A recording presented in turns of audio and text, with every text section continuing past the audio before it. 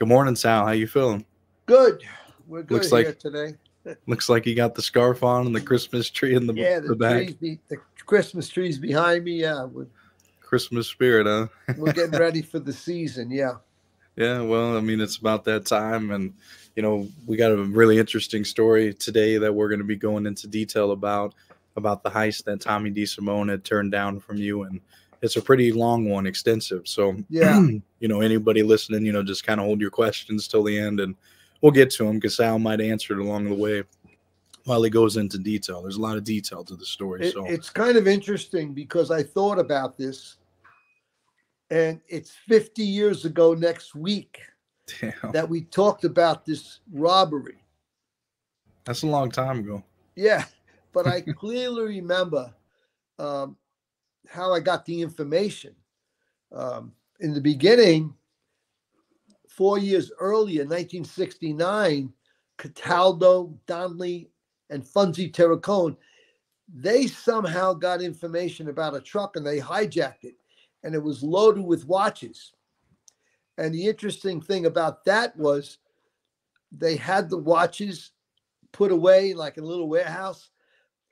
And the set one day after they did the heist, our attorney got a hold of Cataldo and Donnelly and Terracone said, Hey, look, uh, somebody saw the car you were using on the heist. I don't know, it might have been Funzy's car, and we're going to arrest Funzy. Oh, they got paranoid. Funzy was still on parole from the 1960s you know he was in federal federal prison and so they got nervous and then taldo said to the attorney well what can we do? He says look i got this corrupt detective. I'm going to go meet with him. So when he came back he said look if you give the watches back nobody will get arrested. You got to give it all back because the insurance company you know knows it's a lot a lot of money. In those days it might have been like i don't know quarter of a million dollars. That's 50 years ago. You know, it was a lot. That's a lot. so they made an agreement to give load it up in the truck and give it back. Well, what Cataldo, Donnelly, and Funzy did, they sifted through the watches and took out a whole load of good ones. then they went to return the truck. And I remember them telling me it was right near the Queens Criminal Courthouse. And they dropped the truck off there with the key inside, left it there, and they backed away and they was sniping on the cops. When the detectives pulled up, they had a little truck and they started taking cases out of, of the truck that Cataldo and Donnelly and Terracone gave over to them. So they both stole some of the watches before they went back to the insurance company. But nothing ever ca- ha- nothing ever came out of it. Nobody was arrested, and that was the story in 1969. They didn't tell me all of that until years later, but it was Christmas of '73, and we were at a party at a place I was hanging out. This Club 93. Incidentally, the bartender was Cookie. I'm sorry, Angela, her name was. oh, Angela was married to Tommy DeSimone. She was the bartender there. And it was a drunken guy that was there. And I used to talk to him. He was the driver for this particular company, S&H Pomerantz. And in his drunken stupor, he gave me all the details about the watches were in that building. So that was like around Christmas time. So then a week or two, three weeks later, I said to Foxy, let's go look at this building. So we went over to the airport. We found the building. It was all fenced in. It had a security, you know, gate and everything, a guard there. And I said, I bet you we can, you know, we can heist the building. So then I told Tommy about it. And Tommy was doing a lot of coke at that point, and uh, he we took him to show him, you know. But we had to get over there early in the morning every morning. We had to watch the people go in. Then we had to be there on Tuesday to watch the customs inspectors to come. They had to go through all the watches that came from Switzerland and approve them and put custom stickers on all the cases. So Tommy didn't want to get up. He was doing a lot of cocaine. He didn't want to get up in the morning. So after about a week or two, I said, "Look, you're not going to come. Forget it. It's a long shot that we'll even do this robbery, and it's easy to get busted in the airport." He said, "I don't want to be part of it." So then Foxy and I continued, and then Foxy said, "I'm going to ask Gene Gotti if he wants to go with us to do this." So he went back and he told Gene Gotti, and Gene met with John, And uh, as far as I heard, Foxy said, John says that guy Ubats, he's nuts. He's going to get you guys killed in the airport. So Gene Gotti decided not to go. then we still needed two more guys. And I said, let's ask Funzy if he wants to do this heist, you know. And by that time, we had been watching every week for like three or four weeks. And we asked him, we told him that we were casing, we were clocking all the activity into this building. So he said, okay, but I, I can't go up front. I can't let them see my face. That's okay. We're going to get a truck. We'll hide you inside the truck. Once we get past the gate, we'll go in. We'll make the move. We'll stick up everybody. We'll tape everybody up, put them in an office so they can't see. We'll put ski mask on everybody and they won't be able to see you. That's okay, but we we still need another guy. So with that, Foxy went back and talked to John, and Gotti said, "Listen, I know this guy. He's a little older than me. He's a real tough guy. He's a hitman from from Harlem. His name is Charlie. You guys should take Charlie. Ask him." So then we met with Charlie and we showed him where we were gonna do the score right inside, you know, JFK cargo area. He was all excited about it because I said there's got to be a couple of million dollars worth of watches in there. So for two or three more weeks, we watched every Tuesday, and we clocked clocked the employees going in. There was four people. There was uh, two women and two men. And then at 10 o'clock in the morning, U.S. Customs would come there. They'd knock three times on the door, we noticed, and they would open the door, let the two customs inspectors in. I figured that they were going to inspect all the watches that had to be shipped out of JFK to uh, to New York City and, and it all looked like we could do this, you know. Our problem was it was a gas shortage in February. So there was a pro and a con. The price of gold had gone up to 120 bucks in three or four months. And now, because in 69 it was $35 an ounce when Cataldo did the heist. Now that we see it's $128 an ounce, I'm figuring, wow, we're going to get a bunch of money for, for the watches if they're gold. By the time we're ready to do the heist, it's up to over 140 an ounce, which is like amazing. I mean, it was, uh, you know, something that nobody had ever considered that gold was going to skyrocket. So we kept looking and looking. About two weeks before we're going to do the heist, I said, look, we got to get a stolen truck. We got to get paperwork. So Foxy said, look, my cousin can get us some paperwork, like, you know, to show the guard, like a pickup order. So we had everything arranged. We had all black clothes, gloves, ski mask. And I kept looking. I said, Did you notice early as we got there? The two employees met. Then a few minutes later, the other two employees came. I said, Look at the size of those locks over there. They were big locks. They were like American locks, like hardened steel silver. And I said, They unload, they unlock the, uh, the, the roll down door and they go in I said, let's get two locks. And Fox said, what are we going to do with the two locks? Well, after we do the heist, we'll lock them in because about an hour later, Customs shows up and they'll probably be locked in, banging to get out. And Customs going to go, what's going on? They'll have to get somebody to come with a torch to cut the locks. And if we're going to go out to Long Island, because we made arrangements to use a funeral parlor way out in the Hamptons, Jackie Donnelly had a, a brother in law that had had been a mortician and he worked out there and he said, look, you can come out there and use the uh, funeral parlor, the basement for like one or two days. So we're all ready to go. And then Tommy shows up. And I go, you missed the boat. We're doing this, man. He's, you got to be kidding. You guys are going to get killed. Okay. So this is 1974. This is four years before they did the Lufthansa uh, heist, which is very similar, by the way. Go into the airport and stick up a cargo terminal, which is unheard of. Most guys wouldn't even think of doing it. So he was upset that he had missed the boat then? Well, he, he was and he wasn't because he didn't know, you know, what was going how much was going to be involved or whatever. So finally the day came. We got up early, we got the truck, we got dressed. We put Charlie Scotty and Funzy Terracone in the back of the truck. And then we're wearing these here sort of hats with little ski masks because it's February and it's cold. And we made sure to fill up the truck with gas because there was a gas shortage and there were lines in New York City that month. So we drive in, we back up, we back up and we knock on the door and somebody opens the door. Foxy and I rush in there. and we tie everybody up. We put ski masks over the top of them, turn turn the hats around, lay them down, and tell everybody we're not going to hurt them. And Terracone, who's six foot six, he comes in. He's he's watching all the hostages. That we had four of them on the floor in an office. Then we go to the back, and we see this huge room. Had to be like 20, 20 by 30, 20 by 40, I don't know. And we see all these boxes and cases of watches. And from what I heard from Cataldo and, and Donnelly in the past, the ones that were most valuable, they were in big wooden cases because they had all the all the packing for, for the watches to come in, you know, a little plastic box with literature and stuff. Right. So then we started loading them up on these four wheel hand trucks like you would get in Home Depot and then rolling them out to the truck that's on the dock. We're doing this for 30, 40 minutes. And I said, you know, we got less than an hour. We got to load this whole truck up. Well, after about 30 minutes, everybody was exhausted.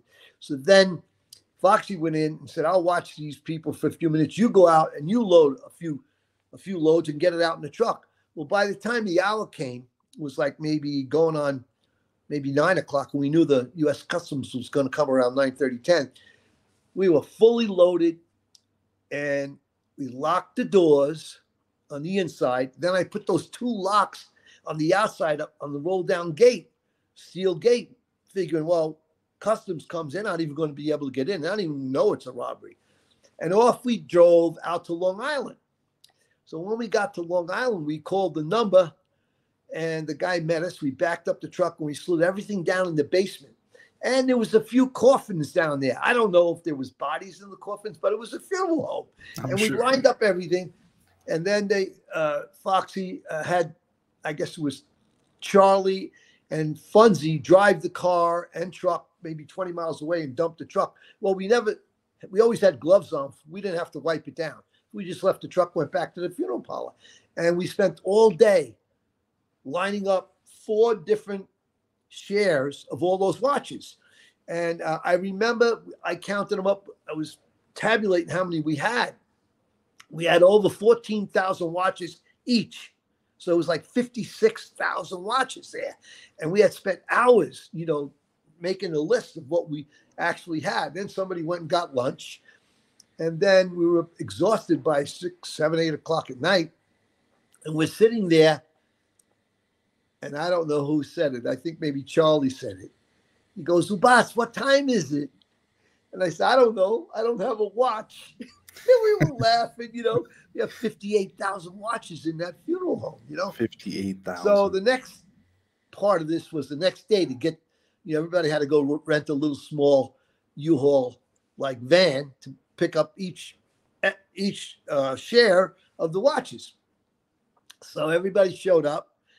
Four of us out there, and um, Foxy and I we shared the van. The other guys had their own little U-Haul vans, and we drove back, and everybody went off their own way. And then Foxy uh, dropped me off, and I put my stuff in the garage. I had a, a rental garage, and then he took his. I don't know where he went. I don't know where Funzy went with his or what Charlie went with his. But all I know is that Foxy went and gave John Gotti the list, and it was only one or two days later we get a call to meet Mike Coiro, the attorney. So Foxy and I, we go meet him for coffee. He's wow. He goes, we hadn't seen him. You guys just pulled off a big score. I go, how do you know that? He said, all I can tell you is that the same insurance company that Cataldo and Donnelly and Terracone dealt with like four years earlier, they got in touch with Queen's robbery squad and said that that company was heisted again. Only this time, four guys went into the upper. we didn't know that Willie Boy Johnson was an informant that year. And what was happening was, we heard later on, he would get information to the FBI, but they would never make a bust. They would just because they didn't want to compromise him. So we had time to get rid of all these watches. So Foxy was the first one to bring John samples and a list. And then Charlie, I don't know what he did with his watches, and I don't know what Funzy did with his watches. But we did meet like a week or two later, and Charlie said, Hey, I got about 70,000 bucks. And then Funzy said, I don't want to say what I got, but I got more than you. And then uh, Foxy didn't feel too bad because he only got 60,000 from Charlie Fatico and John Gotti. But I'm holding the entire portion of the score and I got it buried. And I got a list. And so when I make the list, I set aside 600 Rado watches, R A D O, Rado, Rado, Rado, whatever it was. And uh, half of them were gold and back in the day. And by the time I did look at the gold price, it had already gone over 148. So now it was so much higher than when Cataldo, Donnelly, and, and Cataldo did that, at Robbie in 69. I had the list and I gave it to Cataldo. Well, the bottom line was Cataldo said he wasn't in communication with Gotti and didn't know what Gotti paid Foxy. Foxy told me that he got 60,000, which I knew if he got 60, it was worth 100,000, you know. And uh, I had given Dominic like serious collectible watches like Audemars, PJs. These are very high dollar watches. Then there were a couple thousand each. Today they're like 25,000 each. Yeah. And um, so I, another month passed and I'm getting ready. I know I'm going to be going to jail soon. Finally, I said to Cataldo, look, here's my list. So I give him the list. He's okay. I'm going to bring down a buyer. And so I go to the basement of my my wife's grandfather's house and I bring the watches there. And he looks through them all. And he goes off, takes a walk with Cataldo. Cataldo comes back and says, listen, he'll give 90,000. I go, see if he'll give 100. He comes back and says, how about 95? I said, okay, you take 10. I'll take the 85,000. So Cataldo says, good. So the next day, the guy comes with the money, give him all the watches, off he goes. But later that day, Cataldo took me for coffee. He says, you didn't tell the truth. You didn't tell me how many watches you got. What are you talking about? He says, about six or 800 watches missing because each one of you guys got 600 of those Rado watches. And those guys got like, say, 10 or 15 dollars a watch. I go, well, they're worth much more. And how do you know that I had 600? He's because Gotti told me. Gotti shared the, the list with him. And they were trying to, you know, kind of control the price of what they were going to pay for these watches. They wanted so to finally I agreed. I give the stuff to Cataldo, you know, and then a few months goes by. I go to jail. In the meantime, I now have the watches buried. And where'd you bury them? Wife's grandfather's basement. Just like 15 boxes of them. How'd you bury them? Like, what would you put them in? Oh, I just, I just made a card. I made like a, you know, like a couple of cardboard boxes and stuffed them in there and labeled them with duct tape and stuff. Just left them there. So they're there for like 13 months. I go to jail. I come home. When I come home, the price of gold is not 148 anymore it's nearing $200 an ounce. then I go to check the price. I was able to get five times what I would have got a year and a half earlier. So, of course, Cataldo knew that I was sitting on those and he asked me, hey, come on, give me some of those Rado watches. So I gave him a half a dozen of them. I guess today, each one of those watches goes for over a thousand dollars. So figure it out. If I had 600 of them, they'd be worth 600,000 today. Damn. And that's that's the story of the S&H Pomerantz watch robbery. Of course, Tommy was always sick and jealous that we got off with it. And of course, Gotti was surprised that we managed to pull that robbery off without without any difficulty, except for the fact that nobody knew how the FBI found out. And it was 74. So there was 12 years later, Willie Boy Johnson was revealed as being a confidential informant. So then we figured out, of course, I figured out Foxy was already dead. We figured out how they got the information, you know, and uh, who told Willie Boy? That was a hell of a score. Who told Willie Boy about it? You think about this heist? Oh, everybody in in the Bergin knew that Foxy made a score, and oh. probably John Gotti. Probably John Gotti was close with Willie Boy. He never figured for a moment, or maybe Gene Gotti. I don't know. Somebody told Willie Boy. He was there. He knew what was going on and uh, that's how how the FBI found out about it. But they did nothing. They never arrested anybody. Why do you think so? Because they didn't want to compromise their prize informant. They kept lots of that stuff secret. until the time came, eh, you know, and once the guy's work working on a regular basis, they don't reveal who he is. I mean, I didn't have that happen because, you know, I started working with the FBI in October of seven of uh, October of um, 80, 84. And then the case, the arrest came in 85 of the judge. So I was just out there a few months. I didn't get involved in any other cases. I didn't inform on anybody. I didn't have time for that. I was only interested in the in the judge. That was my deal. Give you the judge, and of course, after I gave them the judge, along came the first Gotti RICO trial, and in the oh, fine man. print of my contract, I had to testify. So I had never even thought that I would testify at the Gotti trial. But so, that's that's the story of the of the watch robbery and the heist that Tommy DeSimone turned down. I mean that right. Right, that yeah. that is pretty interesting, man. So I mean, yeah. if people want to go ahead and start asking questions, we're you know we're 20 minutes in. What you thought about this, and if you want to hear more details about this that Sal may have not covered, or that you think he might yeah. be able to expand on a little bit, yeah, just go ahead and ask. I mean, Sal, we can. There's a few uh, good mornings in here. We can go and 50, check it. 50, 50 years ago, and I still remember the detail. Yeah, I know, man. but I mean that that for something like that is like a big deal. You know, it's like something you really can't forget. I mean, that's a, a big score. I mean, really, yeah. and not to get busted because I mean, at the time you could have, uh, if you didn't end up cooperating with the you know government, maybe they would have brought this case on to you. Do you, do you think, I think the statute of limitations ran out though? Oh, after seven years or something, so that would have died, you know, in the eighties.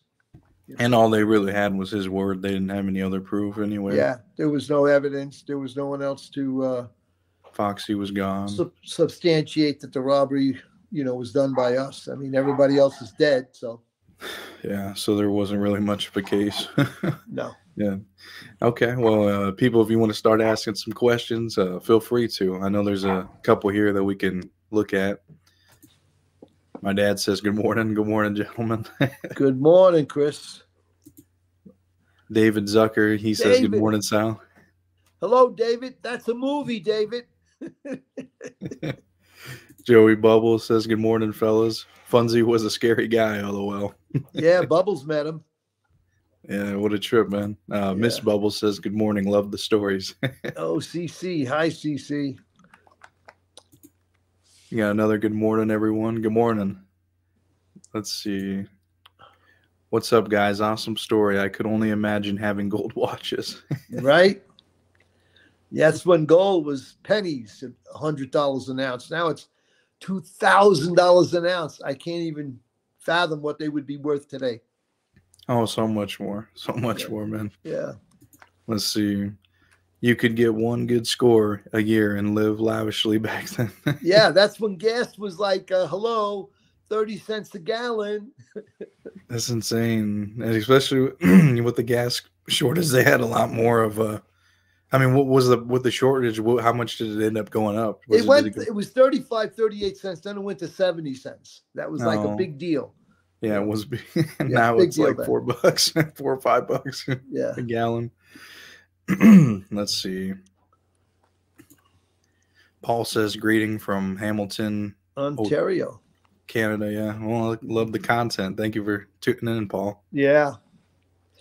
I will say that the, the names of those watches in those days, oh, there was Omega, Piaget, um, Longines, Audemars. I mean, there was so many high dollar uh, names of watches because this particular company – all they did was transport them uh, from JFK Airport, which all that stuff came from Switzerland, to um, to a place uh, called Tourneau Corner. It's on, I think, Madison, and it's a very, very famous watch company. So today, these watches, some of those Audemars, if you check them out, could be 20, 30, 40,000 per watch per watch, yeah. not not just uh, you know a couple of them. I mean, that's just one. That's the ones that you sent me through text message, man. Those were like a couple hundred thousand, and those are what, what were the name of those ones you recall?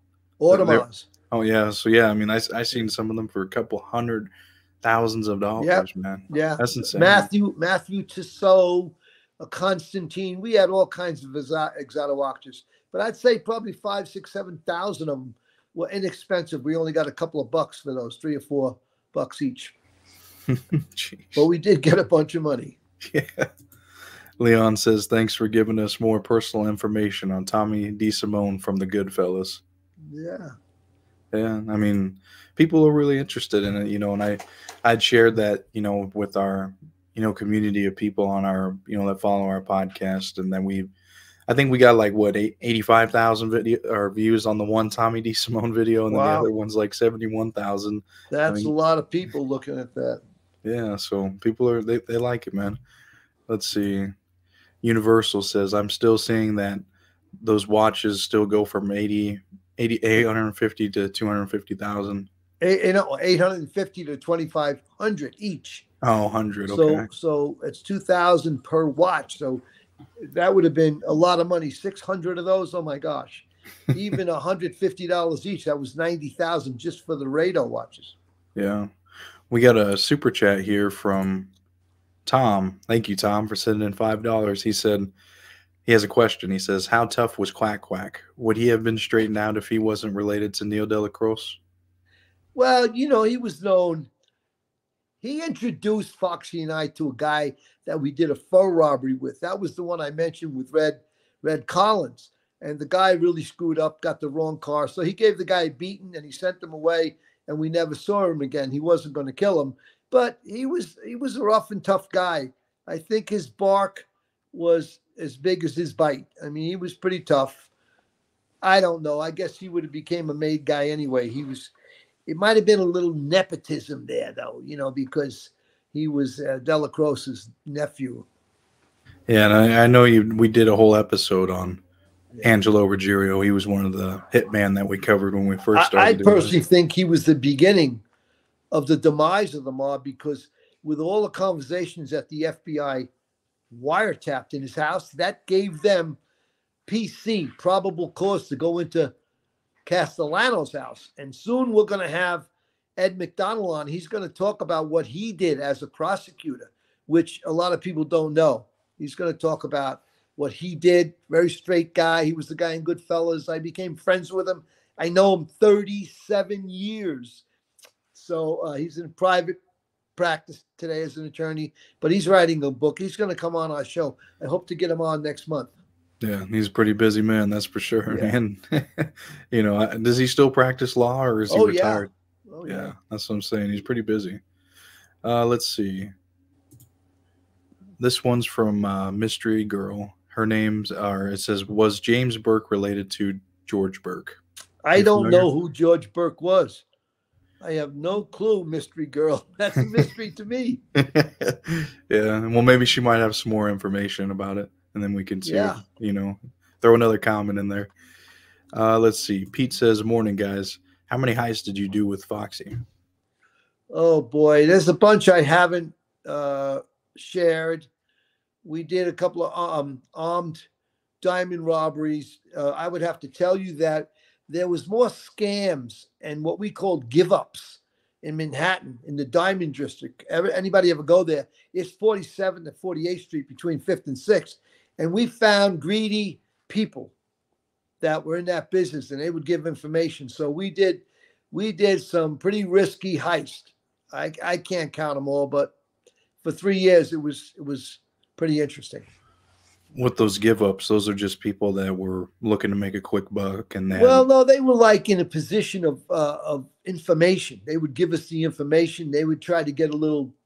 They get we we would give them what we called a tipster's fee. Oh, ten percent. Like if we made a hundred thousand, we'd give them ten thousand. But yeah. a lot of times, tipsters would give you phony information. Then they'd wind up getting a beating. I mean, these guys really went out on the on the limb giving information. You know, a lot of times Jimmy Burke got tipsters in the airport because those were his gambling customers, his Shylock customers. That's how you develop the source inside JFK. I would imagine, man, he could make a lot of connections with people that, well, if yeah. they're have gambling vices yeah. and they need to pay off their debt. I mean, wow. yeah. I, and you know, I was thinking we had some mention of how do we know Sinatra Club existed. I'm going to give a name today if someone could find this guy in Brooklyn and he would tell you all about the Sinatra Club, a very straight guy who worked as a truck driver for uh, in I think it was International Grocer Association. He was a truck driver and drove around and dropped off like you know wholesale groceries in Queens and Long Island. His name was Tommy Block. I Tommy don't know Block. what happened to him. Never thought about him till the other day because I saw somebody posted, "Well, how do we know the Sinatra Club existed?" Well, let me tell you, Tommy Block was a crazed gambler and he loved coming to the Sinatra Club. And I would loan him money, like 100, 200, 300, and he'd pay me interest, like it was a Shylock loan. But I'm curious what happened to his life. Maybe somebody out there could find Tommy Block. You know, uh, another guy I just talked with was uh, John Red Collins Jr. You know, he was a Patreon subscriber of us. Yeah. He was, you know, he did a heist with his father and Right. His father, they talked, and he said that his father remembers the Sinatra Club, and I was like, well, good. That... We need to hear that because we got so many doubters out there. Oh, how do we know the Sinatra Club existed? Well, I mean, it was just a little couple of little rooms, like two stores. And oh we, yeah. We you know we purdied it up a little bit so guys were comfortable there, and uh, guys loved it. There was nothing like it because all the other Italian mob clubs had doors that were open.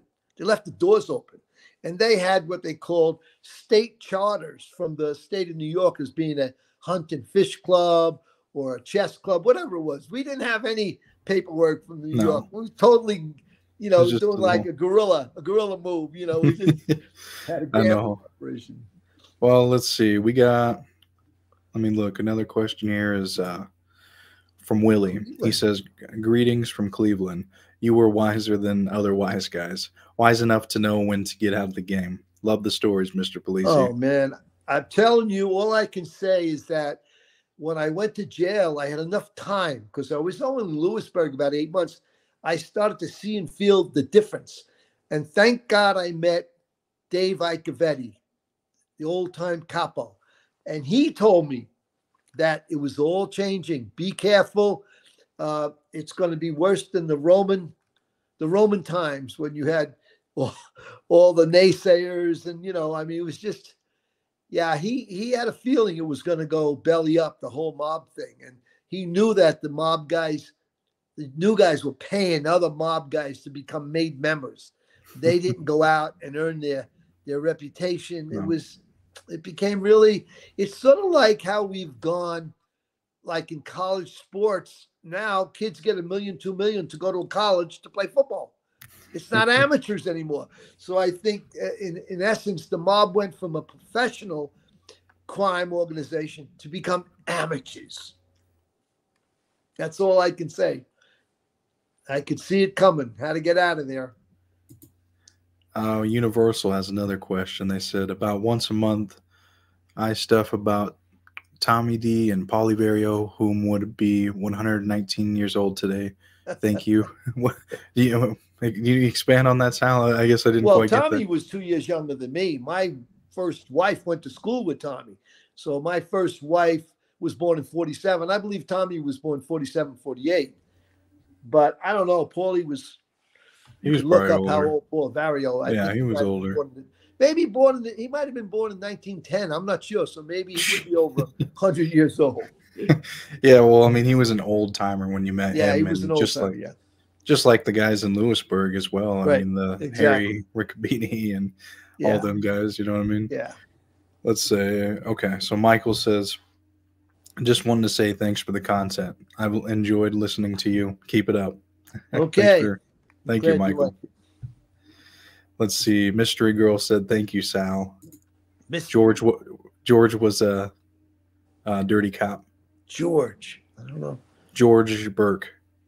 Oh, he might have wrote a book. George Burke was a dirty. Well, we had a lot of dirty cops back in the seventies. I mean, I had a guy. If I would give him a plate number, he'd bring me back the information like the next morning on where that car resided or if I gave them a name of somebody, you know, they could go into the computer in those days. It wasn't much of a computer like today, you know, and they could get information and they would just show, I think they would flash their badge number. So some of those guys had phony badges. There was no cameras. So they got away with all kinds of things in those days.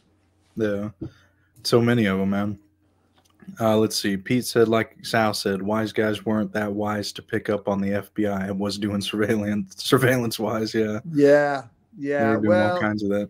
Yeah, I mean, you know, the FBI had limitations, but people don't know what it what it really took to get authorization to wiretap people. You had to get PC, probable cause, and that took a while to get. Well, once they started to record, you know, the whole Gambino crew, and Angelo just opened up this can of worms. I mean, he ran around saying, "Oh, I moved to a new house. They could never wiretap my house." the house was wiretapped for sound and film and everything. I mean, he had no clue. He must have been shocked when the, when those recordings, you know, came available to the attorneys, listening to all that stuff. And in those recordings, he not only talked about the life of crime, he talked down about John Gotti. So Gotti lost respect for him. Oh, it was man, just sure. uh, a time to end, man. People just didn't get it. Lee says, "Good morning, guys. Thanks for tuning in, Lee. Yeah. He always, uh, he like I always say, man. He always watches all the shows, man. Every episode I come out with on Yeah, cool. either our podcast or on Yeah. mine separately, man. Yeah. He's a big supporter, man. He said, uh, "Why would people say it doesn't exist? Crazy." The Sinatra Club. He's probably talking about. who knows you know we got a lot of naysayers on there a lot of people we got 45 50 year old guy telling me what happened in 1974 he wasn't even born so i laughed Uh, let's see. Rosario, I believe, says, "Good morning. It, it was great hearing the story." Yeah we got some other stories. I may be able to do a couple of stories about gas pipe. I knew one of the guys that hung out with gas pipe. I've not shared this with anybody but Who they were slick. They were circumventing alarm companies in brooklyn queens. And i'm not sure if it was adt or holmes if people knew these names but they were able to go into banks and spend all night or a weekend burning through the cells and get all that stuff out of the safe deposit box nobody knows how much money they were getting but i do know a couple of guys who were involved so they had quite an operation Well, I read the that book because I remember you wanted to do something about ga- gas pipe, um, you know, a month or so ago. And holy crap, man! I got like almost a hundred things. You know, hundred. Uh, I made a list, and out of the book, I got like a hundred things of notes up about him. I mean, oh this yeah guy that was a crazy guy even Yeah. sammy gravano called him uh, a wacko a sicko you know he was Jeez, man. pretty uh, pretty violent guy and at the end you know he flipped but it didn't do him any good they No. reduced his sentence he lied he lied so much when you go over to the government they debrief you and you've got to tell them everything that you did and when i went over i told them about 99% Almost I left a few things out. you know. I mean, when I went into the program, I tell people this. They brought us to different locations. First, they hit us out in Buffalo. Then they hit us out in uh, Washington D.C. And when they finally enter you in the program, you have to go through this this list, and you have to go see a, a therapist, a psychiatrist, and all. And then they asked me, "Do you have any assets, any money?" I said, "I got about forty bucks." but I had a little satchel and my son carried it around and there was a bunch of valuables in there. So I didn't have it. He did. That's how you. Oh, sure. Hope, did you hear me? I can hear you. Yeah. I said we got a, uh super chat here for fifty dollars. Oh, wonderful. Let's hear it. Um, let's hear it, man. Wow, uh, Francisco, I believe it's how you say it. Uh, he said, Anthony Stabile and Angelo Sepe. "Did you know them?" From what I read, Well, uh, I knew Anthony Stabile because I also knew his brother, Fat Tommy Stabile, and they were characters. Um, I didn't do any crime with them, but uh, Fat Tommy only lived a few blocks away from me, and he was uh, a known hijacker. I knew his whole family, his daughters, his wife, and uh, I didn't know Angelo, but yeah, they they were pretty close, and uh, I guess they were coke buddies with with Tommy. Tommy. Um, he got really bad at the end of 73, 74, because I had met him in 71. And I just think he got caught up in as a coke addict. Do you know much more about these guys? What family they were with? I didn't know. I didn't know a lot about those guys because I was always kept away from guys with other crews because I wasn't going to share any information with them. But I knew, I knew Fat Tommy well, and then that's his brother Anthony. I think Anthony got whacked. I'm not sure. You know, um, really, uh, in those days, we would hear somebody got killed, and two days later, it would be a forgotten story. I mean, people getting killed all the time. You know, it's just the way it was. And when they did the Lufthansa heist, I had a deli and all the guys would come over there for a sandwich because when I made a sandwich with boar's head cold cuts, it was big and stuffed. And one of the guys that was on that heist used to come over for Italian salami sandwich. I think his name was Paulio. Paul Paulio. I think he was found dead, but he did. Oh, see, both guys got whacked in the 80s. Yeah. Yeah, that's what yeah, so we had a mm. lot of guys came in the deli. It was called Parkside Deli, and then we had a bar four or five houses away called the Parkside Bar and Grill. So, yeah, we were busy there, and all the guys from the Bergin would come over and get a sandwich. And uh, what was his name? Uh, Tony Roach. He loved to come there to get, Oh, yeah. get a sandwich. Yeah, he was a good athlete though, Tony Roach. yeah, really tall and everything Yeah. like that, man. Yeah. Well, Francisco, uh, thank you. Um, I hope I'm pronouncing the name right. I'm good at butchering names and Yeah. stuff, but no, that we appreciate that. That was really nice of Yeah. you sending that fifty dollars. That's cool, man. Yeah. Like I said, I did meet those guys, but I didn't hang out with them. I mean, I knew Anthony. Uh, I just didn't hang out with those guys. Occasionally, I did have a drink with Fat Tommy, though. Fat Tommy Stabile. I think he went to Florida and died. But he had about two or three beautiful daughters and a nice wife. So we knew the family. We knew the family. They would come into the deli. So, I mean, what was uh, when you drank with him? How was he like? Was he he just, just hung out. You know, uh, he, he liked sports. You know, we always had something to talk about. And he was known as a as a uh, truck driver. so he would travel around a lot? I suppose. Well, he would drive a stolen truck for guys because he was really big. He was large. I mean, That's where he got his name, I suppose. that Tommy, yeah. uh, let's see. Let's go back up here. It says uh, from Andrew. He said, "Does Ed practice criminal defense practice like the tax cases and stuff like that?" Ed McDonald. Uh, he still is a criminal prosecutor. Uh, not a prosecutor, criminal attorney.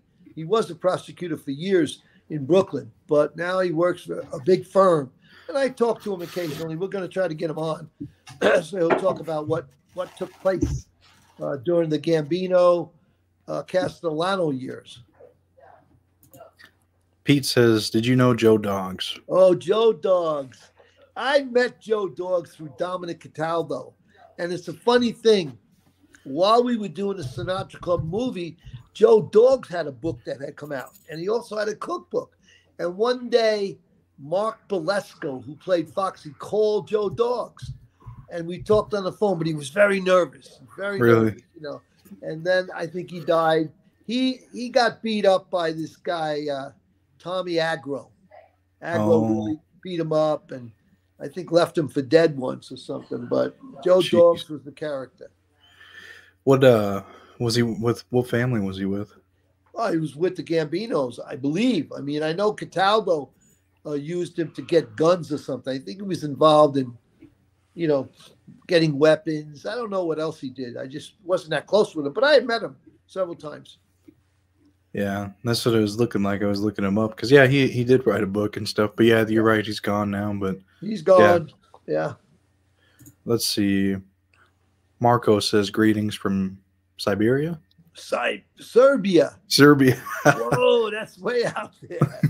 I didn't know we were touching guys in Serbia. Serbia, yeah, that's pretty cool, man. Everywhere. I mean, just a little bit, you know, mainly here in America, but there is, you know, lots of people from UK and then all these other countries and stuff, man. It's really, really awesome, man, that they can, Yeah. you know, tune in and, you know, different languages and stuff, barriers and stuff. I don't know. I mean, it's it's pretty cool, man, that they still Yeah. watch. I, I didn't want to sound braggart about that heist, but it was it was pretty intense.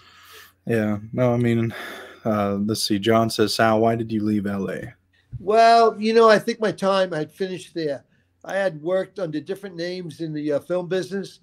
Uh, had met up with a woman, had two kids, and when I split with her in 11, it was time to go. I mean, if I had been younger, I had plenty of producers I met. I probably would have been either a a character actor or producing movies. But I think we're going to do something soon that could be exciting, and then we'll announce it on this podcast. So we're going to do uh, we're going to do some reviews on movies. Yeah. Uh, Dave Zucker said Dangerfield was a gambler, and I think he was he was at the club to play cards. Oh, that's interesting. Uh, yeah, I knew Dangerfield was a gambler, but I don't remember if he came. We had we had some people that came there became well known. One was the guy called Lenny Montana, who played Luca Brasi in the in the uh, Godfather movie. So he would come there, and then we had a guy named Big George. This guy was a huge guy, about six foot nine. He was hanging out with the Gambinos. He would come there, and he was in a movie called Gloria. I became friends with him, and then all of a sudden, in 1979, 80, uh, years after I had closed the Sinatra Club down, I had a jewelry store, and he came to visit me, and he was in a little trouble, and he disappeared, and then they found him whacked out at a studio in Los Angeles. Somebody killed him down there. So I don't know what he was doing, ripping off wise guys. He was doing something illegal. But Big George, yeah. Damn. Um, let's see. He said, wasn't yesterday the anniversary of Paul Castellano's hit? I think it was the 16th. That's right. Yeah, that's true. Really close to Christmas time. I remember Yeah. always hearing in the My goodness, documentaries. that's uh, 32 years ago. Amazing. No, I'm sorry, 23 and uh, what was that 15? Oh, 38 years ago. Wow. Yeah. yeah, in 85, it says he Yeah, died on December time ago. 16th. Yeah, right, right when you left. Yeah, I 85. left that year. Yeah. Uh, let's see. Sally US or us says, "Do you know anything about Paul Grubb? Don't know. Tell us. Tell us about Paul. Who was Paul? What was it? What family was he with? I mean, any more information? Just let us comment, and we'll we'll see if we can expand on it. Maybe he went by another name too. Uh, Oh boy. You know, this as ABCD says, Sal, tell us the story about you almost getting killed trying to try tied was- to a pole. I got tied. Yeah, that's a whole that's a whole episode. One of these days we'll tell that story. And that's how vicious and treacherous the mob got, guys got. They were greedy. Uh, somebody ripped off a made guy's house of a million bucks. And I was flashing a bunch of money around that year, and they thought I did it. They thought Foxy did it. So they got a hold of us and kept us in the basement. I will tell that whole story, but we'll do save that for another day. You know, I never even heard that one, man. So I guess good questions here, man, because I Yeah. I never heard that one. How did ABCD find out about that story? You must have told it somewhere. Maybe it was in the book. I never. I don't think I read it in the book. You got to realize I did two books over 35 years, and sometimes the stories are all the same. I didn't embellish them, but I get almost I almost forget who I told the story to. I might have told that story on stage. I'm not sure, but all my stuff is 99 and 44 100s true. I don't embellish. I don't exaggerate.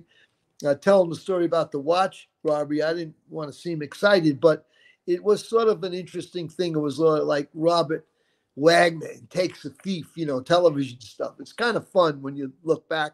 I would never think of doing a thing like that today. no, good luck. Yeah, good luck. minute. Yeah, good luck. Yeah. uh, Tom asked, "Did Francis go to the Sinatra Club?" No, I met uh, I met Michael right after he got made at Dominic Cataldo's restaurant. It must have been 78 or around that time, and didn't see him anymore. I knew who his father was because his father and my uncle were on trial in the 60s for bank robbery. But I never met Michael again until oh about 10 years ago. We both were part of National Geographic, the making of the American mob, I think. I think I Yeah. gave you that DVD, and um, that company toured us around. We made appearances in New York and Philadelphia and talked about the life. And my my words to Michael was, Michael, because he's a little bit younger than me. You grew up like in royalty. Your dad was so famous, you know, I, I didn't pay attention to what Michael did. And there's all kinds of things about up online who did what and where. You know, we left that life. That's not what we do. So I don't look down on anybody. Whatever they did, they did because they had to do it in those days. But I met Michael again, like I said, about 10 years ago. And I haven't talked to him since. But I knew a little bit about him and his family. He had a son that was a baseball player. I think he was in the Mets organization, which I thought was cool because I had sons that were athletes also. But I always liked him. I thought he was well spoken. Gentleman. yeah. Uh, let's. This one's uh, Universal asked. He said, "Hey Sal, did you ever work with uh, Lefty Ruggiero or Sonny Black from the Bonannos? I mean, you met Sonny Black, right? But I think I briefly met Sonny Black. I I didn't associate with Lefty. I mean, I was really introduced to to uh, Joe Massino long before he was a made guy and long before he became the boss. But uh, no, and I left, I sort of left the life in 81, 82, and then went back in 84 got busted. Uh, by that time, everything had changed because a lot of people asked me, well, how come you didn't know Sammy? I left New York City in 81, 82, moved upstate New York. I don't even know what year Sammy got close to Gotti because originally Sammy was the Colombo guy, I think, and then he moved over to Gotti. So, mm-hmm. yeah, I didn't know Sammy. A lot of these guys I didn't know at all, and I wouldn't say I did know them because, you know, I don't lie about stuff like that. Pete said, "Sal, what kind of mustard do you use on your gyros at your deli?" I like Grey Poupon. That's a good one, man. Yeah. Uh, let's see. Joe Mazza says, "Hello, Sal. Was wondering if you knew Joey Shoeshine." no, who who was Joey Shoeshine? Who was yeah, that? That'd be interesting to hear. You know what family he was with, or yeah. Let's see. It's, it says, so did you know Joey? oh, he's calling him Joey Shoeshine Merlino's father oh, in South Philly. South I mean, Philly, no, no. No, the only guys I met was a guy named uh, Guatuccio in Lewisburg. I met him, big guy. His brother was in jail, I think, also at the same time. And then, of course, I met uh, Riccobene and and uh, and uh, Chicken Phil. I met those guys in prison. Sort of got friends with them because I watched them play chess every day. But otherwise, I really didn't associate with the guys in Philly. No, never thinking that was going to become a bloodbath over there. Yeah, well, that's yeah. The, he's basically asking if you knew the Merlinos. I suppose I don't know if that was Joey's actual nickname Shoeshine, or if that you know I, I don't think he'd like that name. You know I what I mean? Just like Tommy didn't like that nickname, yeah. so you know I don't think Joey would either. So I don't know. Whatever. Uh, let's see. How's it going, fellas? Love the stories from the about the Philly guys. Sal did time with South Philly in the house. He says. yeah, I was absolutely fascinated that that whole Philadelphia city you know, became so mobbed up. But you got to remember, I was in jail 74. Then when Atlantic City opened up, there was so much money to be made. And then you could understand the jealousy and the treachery. And, you know, it was interesting. And I, I, I thought that that Sal Testa, Salvi, well, I only met him in the visit room. Nice guy. He was only 18 years old when I met him. I thought he would have been some kind of force in uh, Philadelphia, but that Scarfo guy was a psycho he really was a psycho, Scarfo. Yeah, and he ended up taking him out after yeah. a while. Let's see. Ethan, my friend, he said, My man, he said, How's it going, fellas? Thanks for tuning in, Ethan.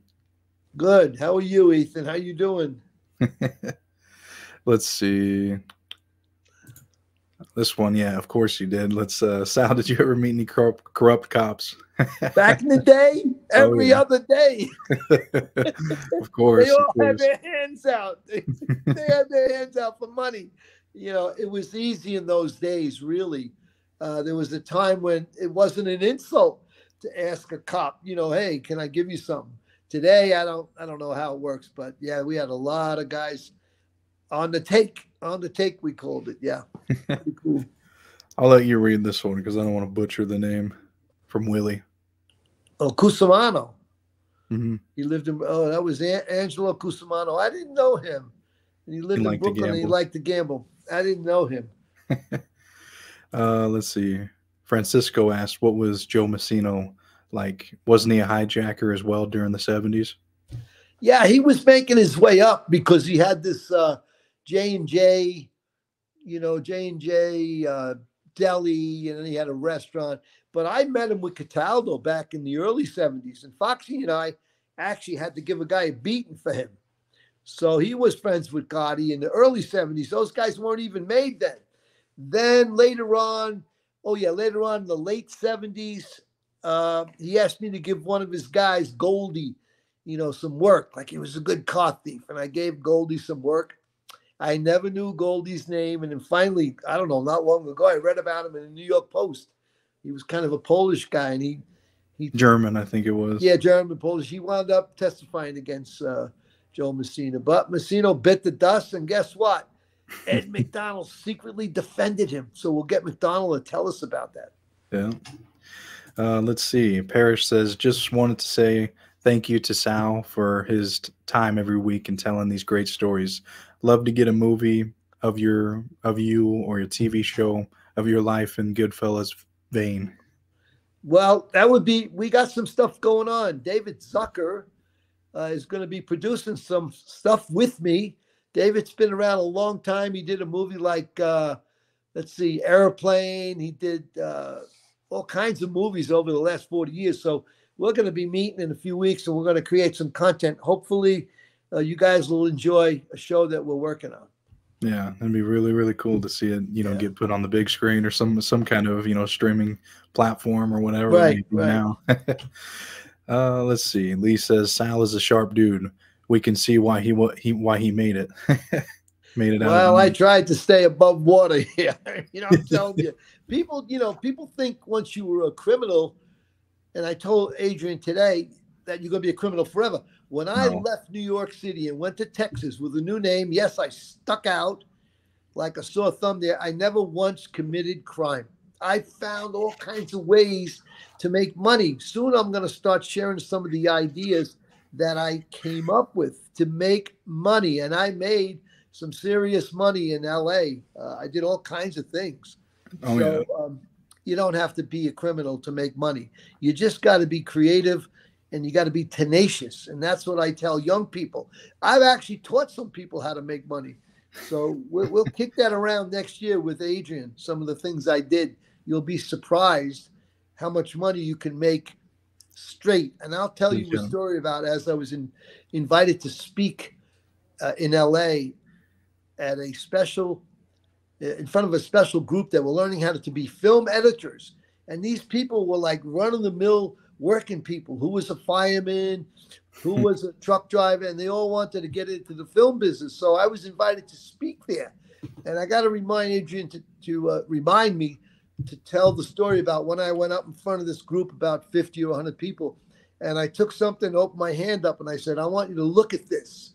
And I'll tell you what it is next month and how much money I made with little tiny idea. Oh man, I, I think I remember where that's going. I, I, I recall that story. Yeah. um, you know, too. You know, with Al telling these stories, you know, I mean, yeah, he he likes telling them and stuff, but he wants to have some kind of purpose or some kind of you know message with these you know what i mean and that's something you know we're, we're taking into consideration you know because we yeah. want to make sure sal feels good about what he's putting out there you know because yeah he, he lived that criminal life for you know a number of years and stuff and that's not what he's all about you know so no, no 39 know. years in crime and now it's going on 39 years out yeah so we might take a poll you know this next week coming up and you know, what, what, kind of poll did you have in mind, Sal, to run, you know, to ask people? Know, maybe some ideas from from our listening audience. Some of the things that we could do that could benefit people because look, uh, you know, I have a son that's a little bit dysfunctional. He's 27, and Adrian has a, a brother that's struggling because you know they get involved with things they shouldn't be using. You know, whatever it is, drugs or whatever. And uh, I would like to use some of my experiences to want people to stay away from the thing, the things that they think are cool.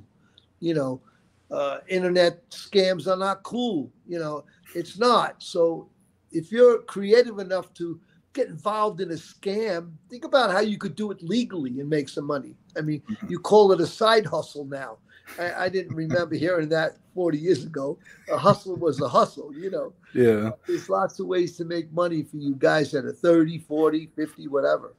And and no, I agree. Like that's uh, you know, with my show, I want to cover good, great redemption stories. You know, this next year, I got a lot, lot of interviews and stuff Yeah. already lined up, ready to come out. But I just, I feel Yeah. the same way. I want to have some kind Yeah. of purpose, some kind of message between each Yeah. each interview that I do, and what how it can benefit people and motivate and inspire. And I mean, we can figure out ways to incorporate your past into what can be benefit beneficial Yeah. to people. There, there, there's ways we could do that. So Yeah. I mean, I got to give a disclaimer. I told that story about that white that watch heist.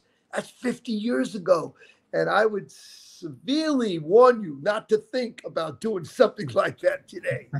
no way. Yeah, I know, and I think that's something that we can incorporate. You know, you can tell a story, and you can at, at the end of the interview or some somewhere in between, you can say, "Hey, this is why you shouldn't." But you know, look look look, look how much effort and time you Yeah. put into you know just clocking this heist. I mean, Yeah. imagine, like you said, if you would have did it legitimately and Yeah, I, I like to uh, disseminate information.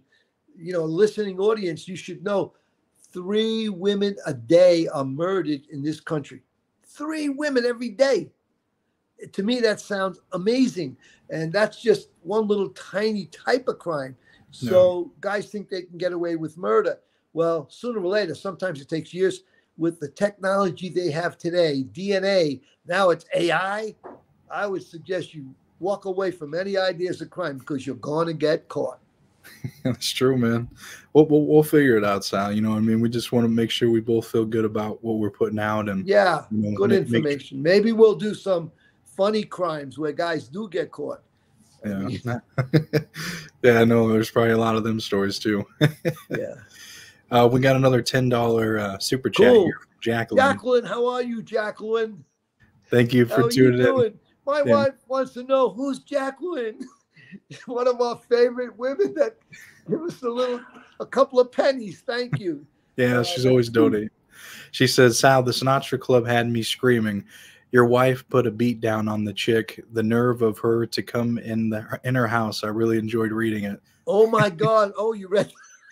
oh, she's talking about the one time girlfriend I have. She drove the car through the front door. yeah, those days was pretty crazy. But I'm glad you're enjoying the book. You know, at the end of the book, you'll feel that, you know, some people don't believe what I did, but I did what I did. It was it's 99% true. I had to start over. And I always said, I'm going to start over fresh. So when I started over and went to LA, it was a challenge i'm telling you but i did find ways to make make money straight i was selling what they called three first they were 286s 286s 386s 486 pentiums i was selling computers every day i'd go over the hill to la cienega buy two or three computers bring them back to the valley and i make a couple of hundred dollars i couldn't believe it i could make two three hundred dollars just driving over the hill in la so I found ways to make money and it wasn't crime. And I laughed all the way back and forth. You know, I did a lot of interesting things. Some one of these days we'll talk about it. Oh yeah, I know. But yes, mm. I did have some moments where I didn't treat my first wife the way I should have. And I've since apologized to her every couple of years. I talk to her, say hello, and she goes, Okay, you finally changed your ways. you're a changed man. yeah. It It just took only a while. took a long time. Yeah. yeah, that's true. But I mean, a change is possible, man. No matter how long it takes. Yeah. as long as you try as long as you change man uh let's see where were we at with questions from michael he said did tommy DeSimone know, know roy DeMeo? I I really don't know because I didn't get to meet DeMeo until the mid '70s. Uh, from what I read, DeMeo was a psycho. He was a sicko. Uh, he he even killed an innocent guy. I mean, the guy lived a total dysfunctional life. I think he really had guilt at the end because, from what I read, and I think his son wrote the book, uh, he took his watch off, his ring off, and he went somewhere and he knew he was going to be killed. So, I mean, he got caught up in all that murder with the two two guys, the Gemini twins. I mean, it was terrible. But that guy, people don't understand. That guy made money in every possible illegal way you can imagine. I didn't know he was doing drugs. I didn't know he was doing murders. I sold them cars, car parts. And just like some of the people question all the things that I did, people don't have a clue on how many illegal things I could do in the course of the day. Really? A lot. Gambling, buying stuff. excuse me, buying stolen merchandise, uh, uh, dealing drugs. I mean, you name it. I could do half a dozen crimes in one day and meet a half a dozen men, and they wouldn't know each other.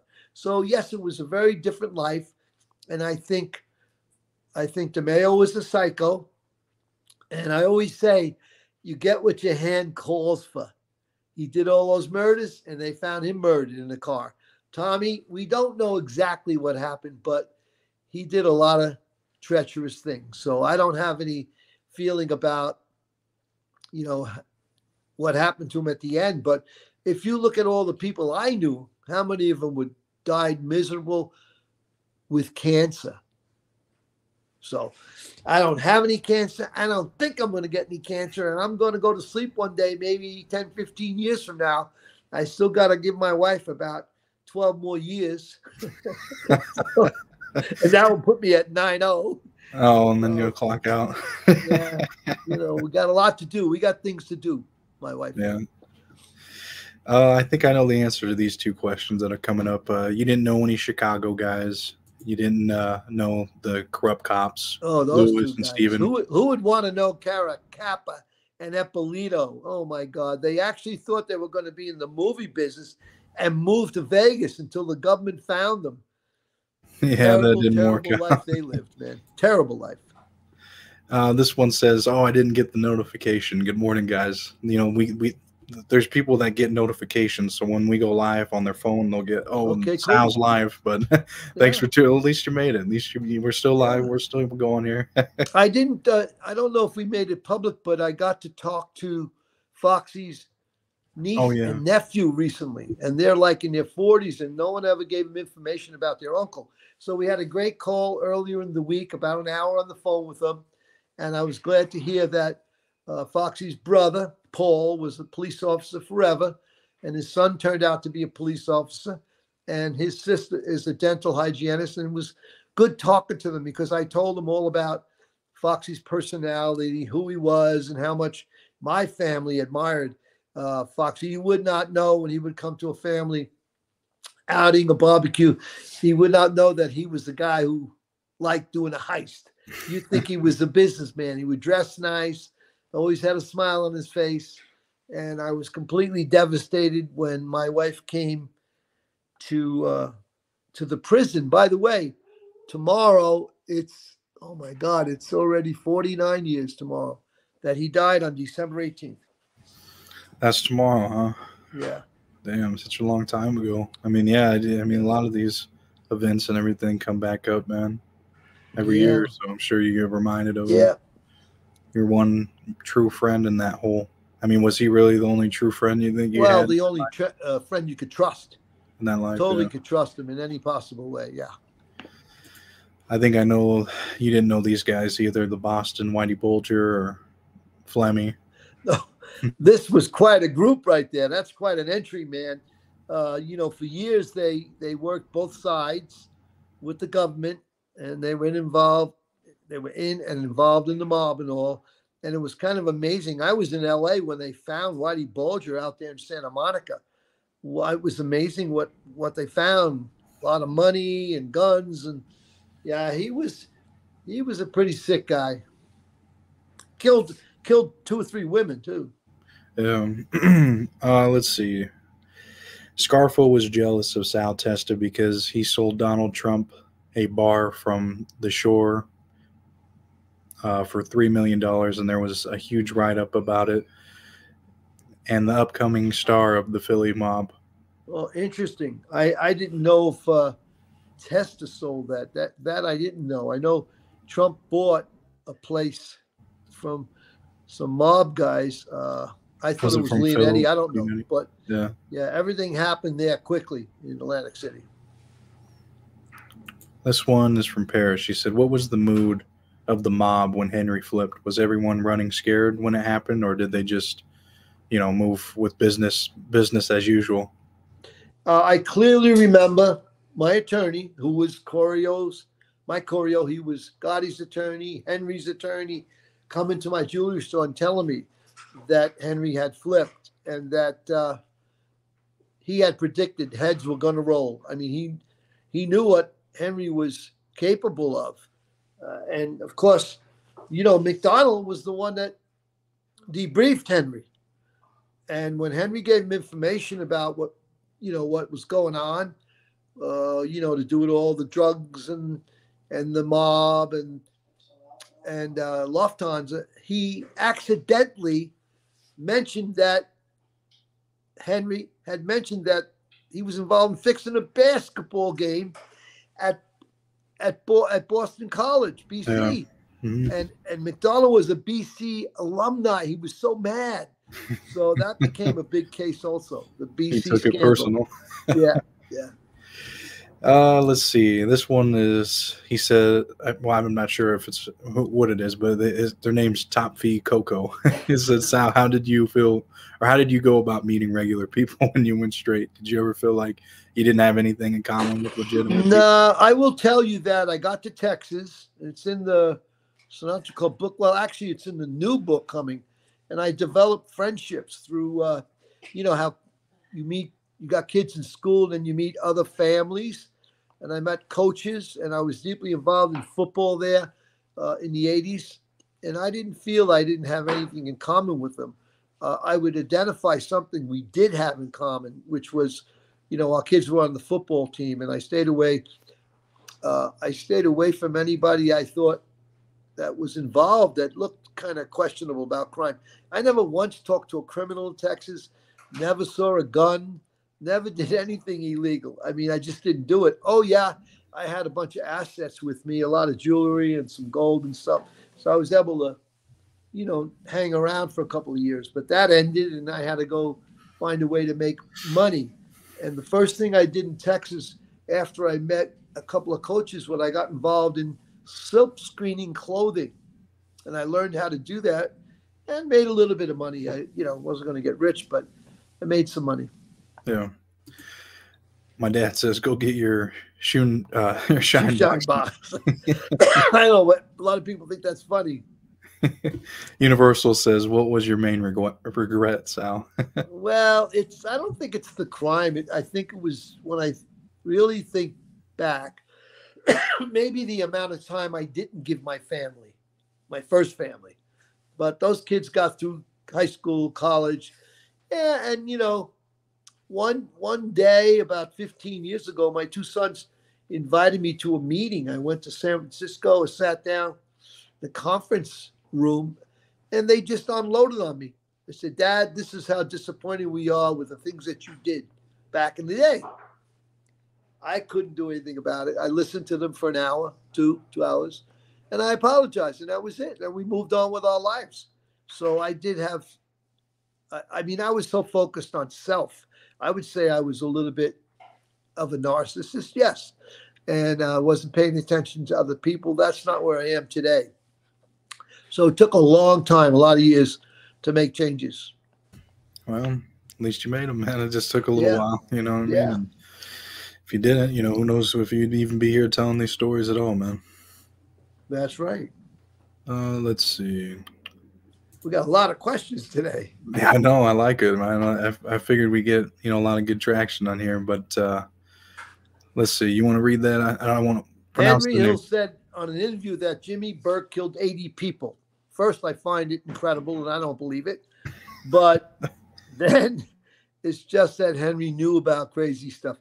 God only knows. I just didn't see Jimmy Burke as a vicious, treacherous man that killed 80 people. Now, I think he changed a lot because he was hanging out in a bar three blocks from my house after they did that Lufthansa robbery.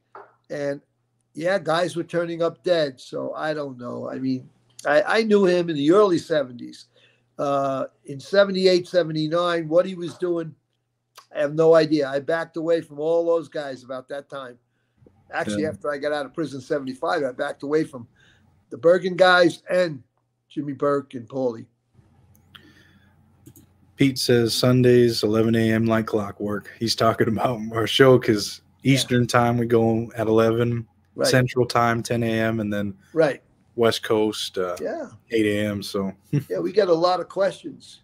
I know. I mean, let's let me see if I want to get to, some people that we haven't got to.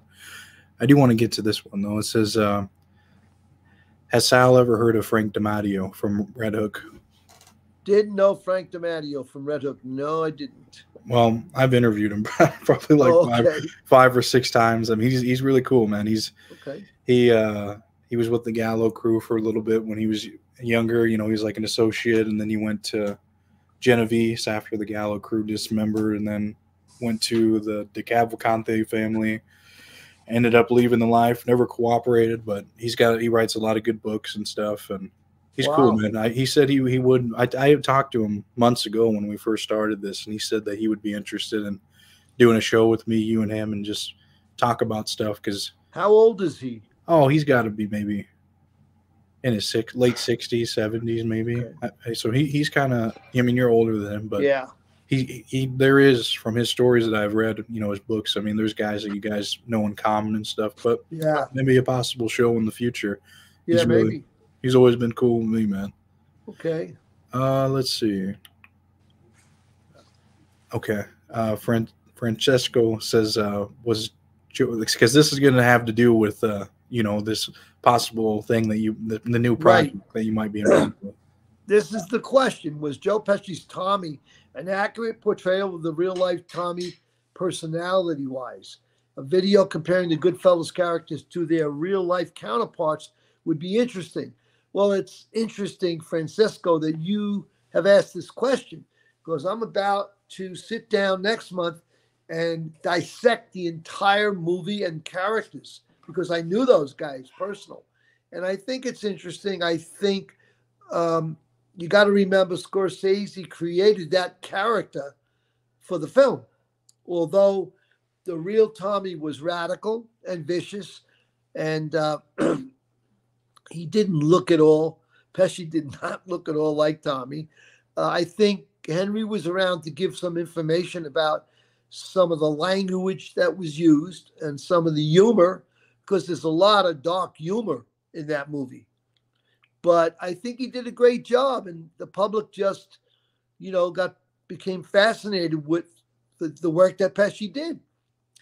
So Yeah. we'll see what happens, and uh, I like the idea of accurately depicting what I thought of the movie and then what I thought of the characters. I think that's that's interesting for me because I spent 20 years in Hollywood. He also had a follow up. He said, "Was Jimmy Burke a cokehead?" Not that I knew. I don't think I, I Jimmy liked to drink. He was a Yeah. scotch drinker.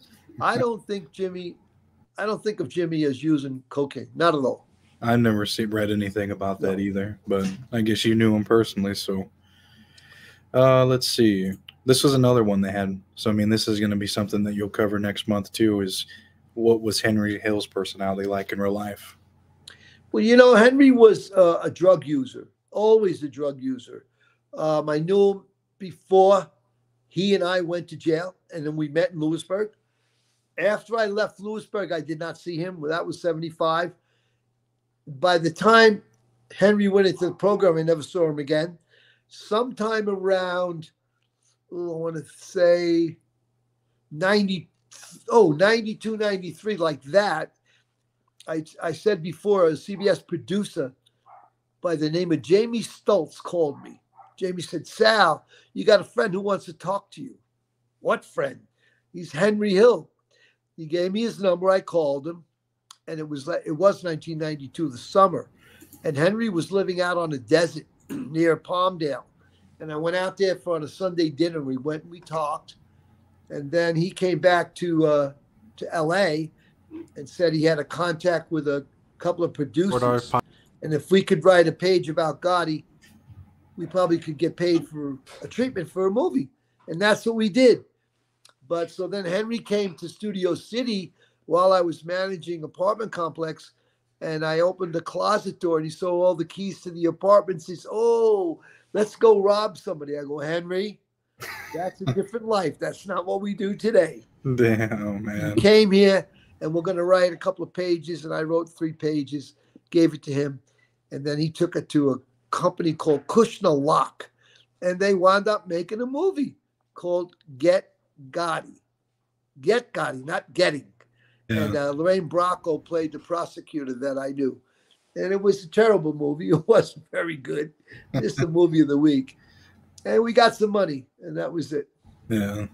Well, you know, if anybody hasn't checked out our episode we did yesterday, well, it just came out yesterday. It's the one with Sal was in Lewisburg with Henry Hill, Tommy DeSimone, and Angelo Ruggiero, and we talk about what it was like being in there with these guys. And you know, next week will be our last Lewisburg episode, and that one covers Jerry Langella and Larry Zannino, Zannino, and uh, so yeah, I mean, it, it, we're kind of finalizing up on that whole series because we've we've covered a lot of the guys that Sal was in there with. and Yeah.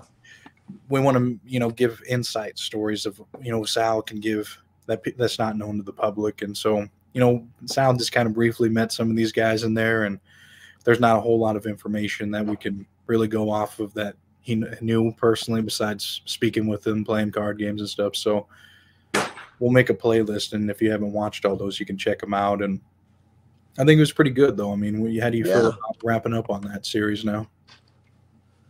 It's all good. It's all good. yeah. Well, and also, I what did I drop this week?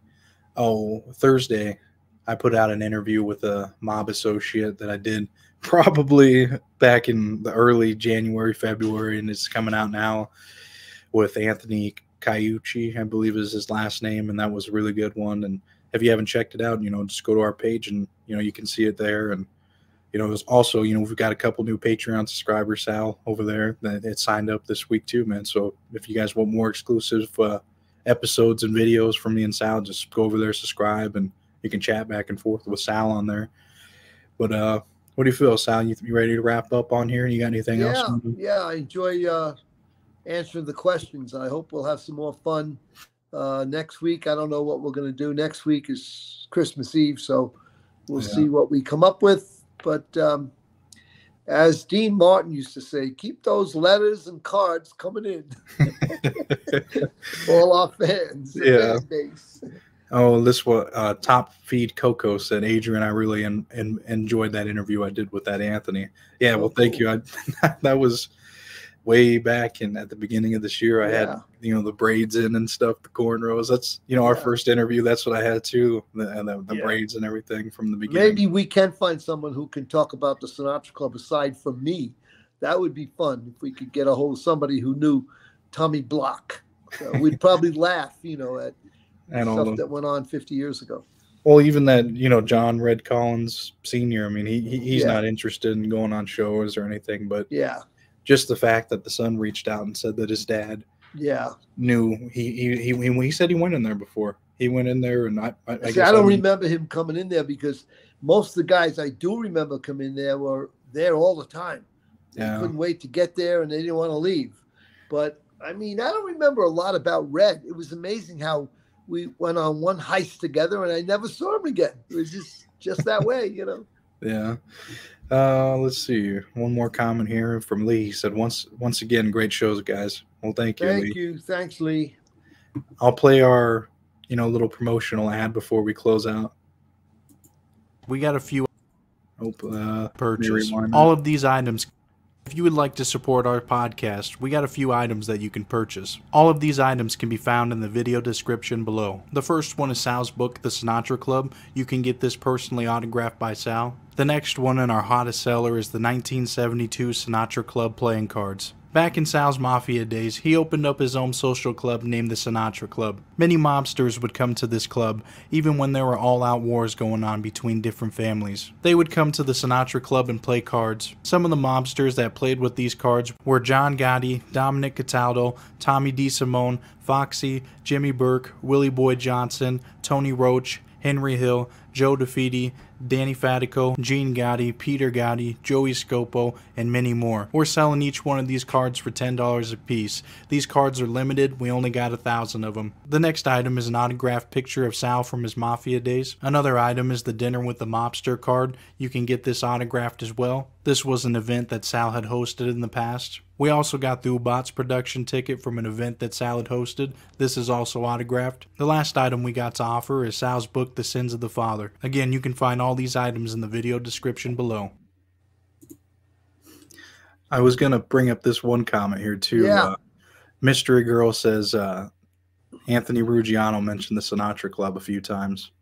Well, you know, Anthony lived on 88th Street, like a couple of hundred yards away from where I lived. But when he was a kid, he would go across the street to the pizza joint, which was Sal's Pizza, my pizza joint in the 60s.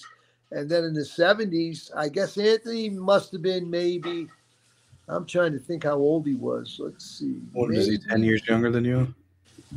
Yeah, maybe he was 20. Yeah, he might have been. I'm trying to think. No, I think he might have been 16 or 17. And Mhm. Anthony played in the park, played ball with his brother, Albert. Uh, so he knew it existed, yeah.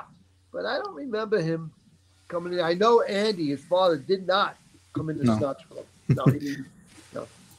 Yeah. Well, I mean, that's still interesting that he brought it up. He's another person that would have, you know, seen it or not been in there, I suppose. But Yeah. Yeah, that's cool. I, I didn't know that. So, my, yeah. you know, I think he gotta- was 16 or 18 when when we had the Sinatra Club. We had it for three years. So well, yeah, and there's other people that watch all Yeah. these other podcasts. Yeah, we, we got we got naysayers. They go, well, how come nobody knew about it? Well, they just didn't. Nobody wrote about it. it wasn't this big and popular nightclub. no, you know? it wasn't a nightclub like Studio 54. No, not at all. Yeah. Well, no, I was just saying that you know there's Yeah. people that watch these uh, the other guys that are you Yeah. know, doing stories and stuff, so they they Right. provide this information. I mean, we, me and you don't sit down and watch everyone's show. I mean, we we got no, I don't watch any shows. we got our own to do. We're busy enough. Yeah. it. So, I mean, you know, that's cool though. I mean, that, that's a good way to close out. So, thank you everyone for watching, Cool. and you know, we'll see uh we'll see you next week, and we'll also see you when we drop our next episode. So, thank you everyone for watching. okay. Let me end that. Yeah.